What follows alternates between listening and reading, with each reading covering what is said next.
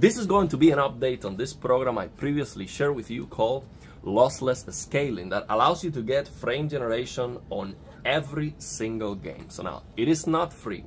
And the reason why I am promoting it is because we did a podcast with one of the developers.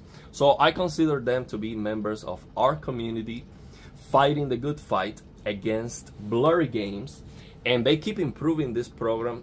They send me a review code so I can check it out. And let me tell you, the improvement is significant. The motion interpolation artifacts have been greatly reduced. And I tried the older version in Horizon Forbidden West, and it was it was not good enough. Okay, I, I would not play the game with that older version because the interpolation artifacts surrounding the character were too distracting. Okay, now you can still see them, but the, it is so much better now. And I would definitely use it for this game because I tried the FSR3 frame generation mod for RTX GPUs on this game and it is not improving anything.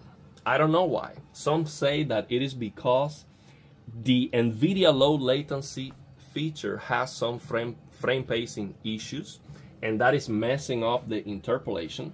So you see 100 frames per second, rock solid on the MSI numbers here. And when you move the camera, it looks like 50. Okay, it's not improving anything.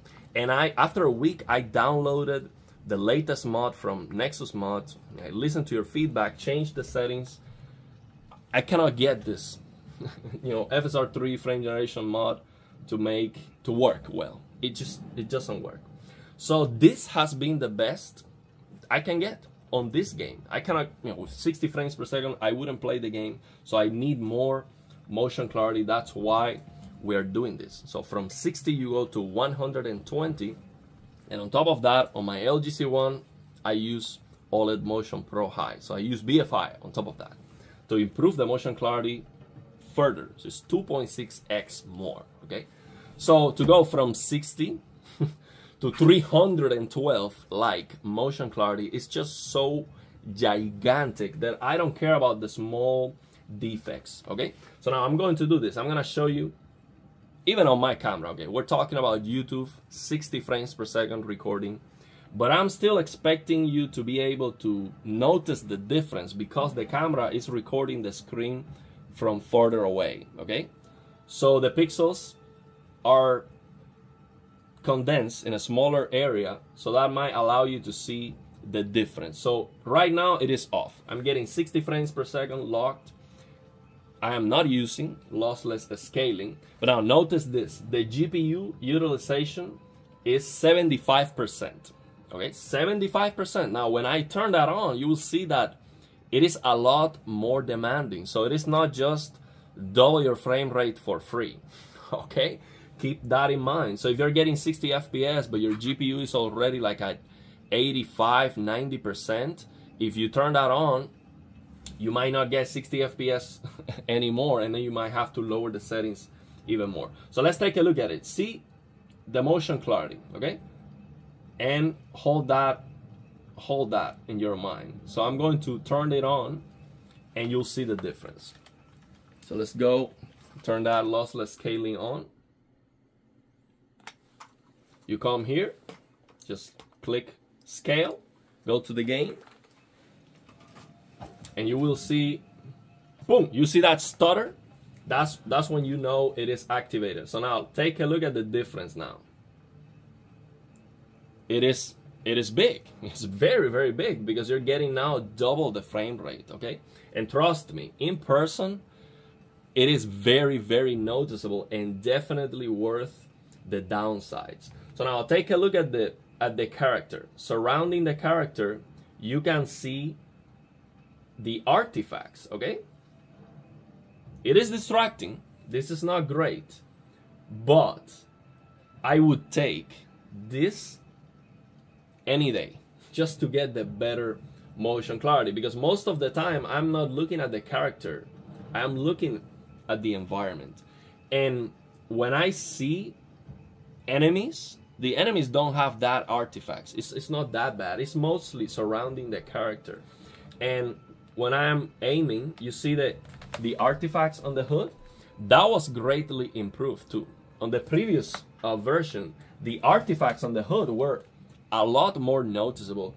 And if you use motion interpolation from your TV, you will definitely see the interpolation artifacts on the hood elements. Something like this, like a scope, it's gonna be very, very bad. You're gonna see like four scopes when you move the camera. And here, this is not bad. I can definitely see it. Sometimes more than others. Sometimes it's almost not there.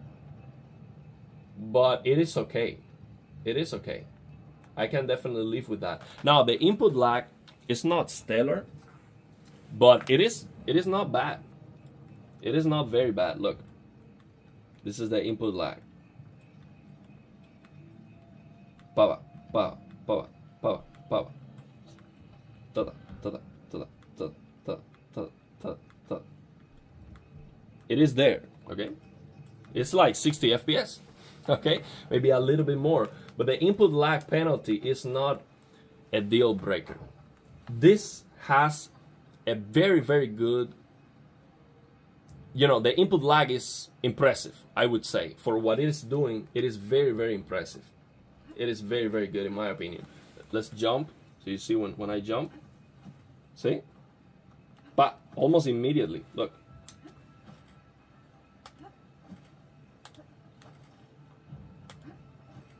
Da-da. Da-da. Da-da. And it also has to do with the animation.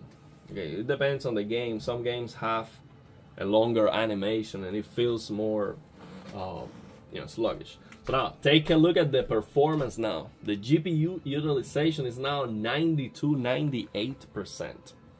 So this might drop below 60. Now, the developer, one of the developers told me that they are working on improving this even if the frame rate drops. So you don't need like a rock solid frame rate all the time. Now I tested that and it's, st it's still, you can see judder. Okay, if the frame rate drops below 60, you're gonna see some jumpiness. But they are working on, I don't know how, they are working.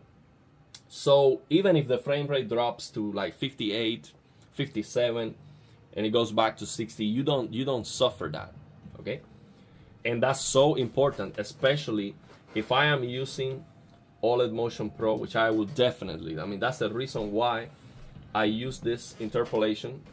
That's the reason why I would deal with the artifacts just because I do this and now the motion clarity is just absolutely incredible. Okay yes I'm losing a lot of brightness. I have to tweak the settings but this is like this is now so much better that yes i mean I, I, would take a lot of artifacts just to get this clarity.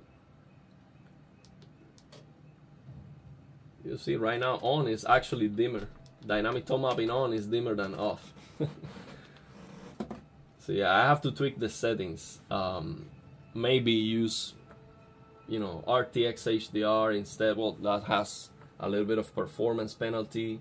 Maybe try auto HDR, the SDR HDR trick to see which one is brighter here. But yeah, some interpolation artifacts here, but the motion clarity is is very very good.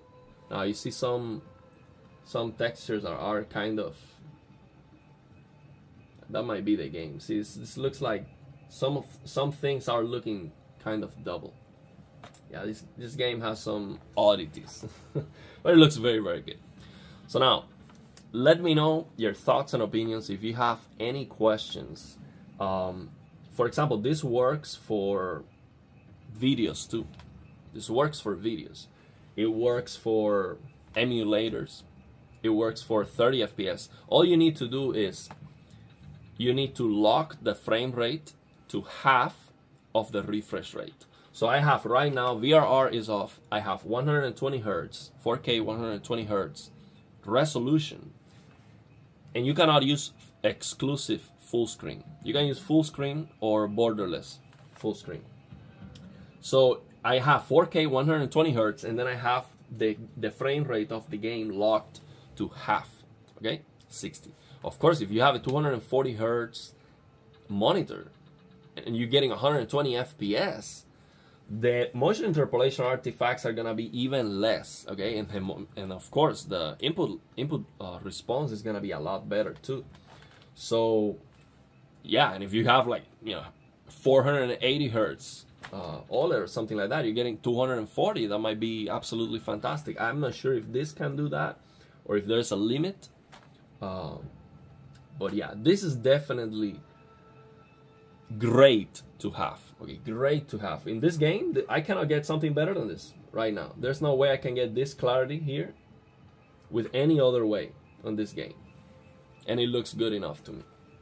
So I, I, I really appreciate these developers keeping improving this app. This is a this is not new. This program is not new, and they still they're still improving it. And you can read it on their page. They're still improving. You see an update. Let me see when when was this update. Uh, this update March 7 okay March 7 um, so they, they keep reworking to detect UI more effectively. As a result, a significant reduction in UI ghosting and less impact on the main image in case of incorrect. You see, so they keep they keep improving this uh, this app. So yeah, that's very very good. We definitely need that. Let me know your thoughts and opinions, and if you have any questions.